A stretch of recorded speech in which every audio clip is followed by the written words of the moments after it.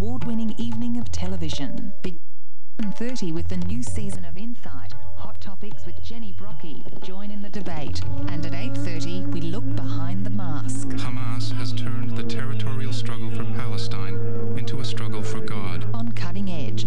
Followed at 10 by the 2005 Oscar-winning documentary Born into Brothels. As soon as I entered the brothels, I met the children. So I want her to look. These were my students. And to see this world through their